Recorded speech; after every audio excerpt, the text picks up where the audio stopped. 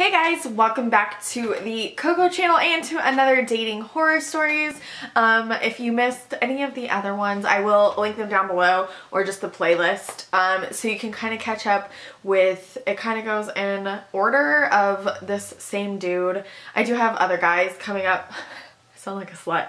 Um, but I have so much drama with this one particular guy um, who we named Ass, if you remember. So um, this one is going to kind of build off of what happened the last time with going to the hospital um, for that guy that got stabbed, June.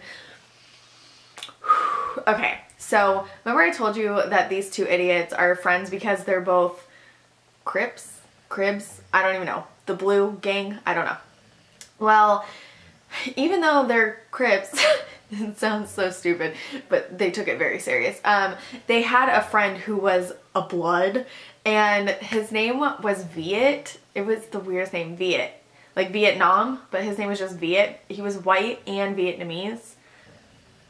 So anyways, he's a blood. it's so stupid.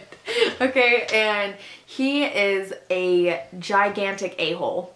Just, I mean, he's so mean and vicious and just like zero concept of like brutality, you know what I mean? And very violent. He had no qualms being violent and carried weapons on him and, you know, things of that sort. So, as gang members usually do, right? Um, so, one night we're at our apartment and this guy used to come around quite often and I just didn't even really talk to him that much, you know what I mean? Because I just didn't want anything to do with him. I just was absolutely terrified of him, to be honest. Like, I was scared of this dude. Um, but he had a friend who was also a blood, and it was a girl. Her name was Kat, and she was freaking awesome, right? She was so much fun.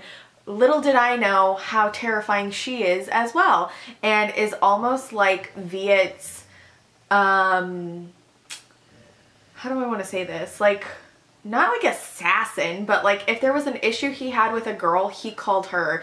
And with zero questions asked, Kat would beat the shit out of girls. You know what I mean? I think I warned you guys in previous videos that I feel like these ones I cuss a lot in, which I'm sorry, but anyways. So, I should have put a necklace on. My neck looks so bare. Um, so, Viet and his cousin came over one night and his cousin's girlfriend who I felt like it was a rare occasion that there was another white girl and she was and so her and I you know were talking and of course there's drinking involved. Like I told you guys that's basically all we did as a couple and with like his friends was drink. So this night you know they come over and I guess what had happened was the girlfriend of Viet's cousin. His name was, I think, Anthony. I don't know. Um, I'm pretty sure his name was Anthony. So Anthony's girlfriend, I couldn't even tell you her name, was like messing around with his emotions somehow. Don't ask me how. Um, but she like broke up with him, I think, and then wanted to get back together with him. This is so intense that I'm even remembering this. So we're chilling in my house, you know, and me and the girl are in my living room and we're like leaning up against this couch. Well, Anthony made the mistake of telling Viet that this girl was like messing with his emotions and this, this, and that. Her and I are leaning up against the couch and I can't remember, I want to say that Kat was there, but for some reason, I don't know why, Viet took upon himself to deal with the situation. So her and I are standing there and literally it felt like it was in slow motion. I saw Viet punch this girl in the face. Mind you, I'm like sitting right next to her. I remember leaning up against my couch talking to her and just like seeing his fist come across my face like it felt like it was in slow motion and he punched this girl so hard that she passed out like he knocked, literally knocked her out, right? So she falls to the floor and Anthony comes over and he's like, what the hell? But another word. And so Viet punches him and knocks him out. Like this dude's a fighter, you know what I mean? Like you can tell he's fought before. He knows what to do. He knocks both of these people out in my house and my mind is blown. Number one, that he would hit a girl.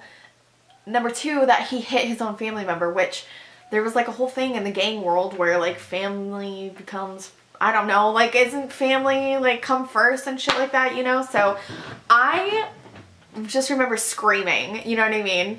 Not even like at the top of my lungs like ah like just like letting his ass have it. Like even though I was scared, you know what I mean? I felt like you just knocked a girl out, number one. Number two, it's in my house, you know what I mean? Which I lived on a second floor apartment. So there's people above me and below me. Like, you're gonna get the cops called on us, you know what I mean? So the girl wakes up and she is bleeding from the nose and her mouth. Like where he hit her, the her teeth hit the inside of her lip and, you know what I mean, hit her nose. I don't even know if it was broken. I don't think so. So he starts yelling at her and so Ass in all of this was sitting there silently but when she woke up he finally like took it via outside and I took her into my room and locked the door because I didn't want him coming after her again you know what I mean? And it was insane. It was completely insane and completely that is when that was the situation that I was in where I really started to question like my safety um, and that's when things I think started going downhill with ass because after all of that, Viet and his cousin left. I ended up taking this girl home and she's just bawling her eyes out. She has absolutely no idea what she did wrong. She's never been attacked by a boy before, which, you know what I mean? You know, she was just absolutely like in shock, you know what I mean? But she was just absolutely bawling her eyes out. I told her or tried to tell her, you know what I mean, like don't mess with this kid anymore if he's gonna bring his cousin around, which, you know what I mean, like just goes to show the type of guy that this guy was anyway, that he, you know what I mean, he tried to stick up for her, but then he ended up leaving with his cousin anyway. You know what I mean? So it was just a really terrifying situation and in the coming weeks you'll find out you know what I mean what happened with ass but like this really was like the focal like turning point in the relationship where I was like what am I doing? Like it took a stabbing and me like taking this dude to the hospital and seeing a girl get knocked out like for me to be like what are you doing? You know what I mean? So next week we'll find out some more idiotic stuff that happened that, you know what I mean, eventually ended the relationship. So let me know if you guys have ever experienced anything like this or if it's just me being, you know, the dumb 21 year old by this time maybe 22. No, I think I was 21. I don't think I turned 22 while I was with this dude. So anyways, just let me know if um, you have anything crazy like this happen down below. I love you guys. I hope you're enjoying the horror story horror story. I hope you guys are enjoying the horror story series where it is retail and dating and everything in between. Um, give it a thumbs up if you are enjoying it. If you're new, hello and welcome. My name is Brittany Cocco. You are watching the Cocco channel. Please subscribe if you're not already. I will catch you guys in my next video. Bye!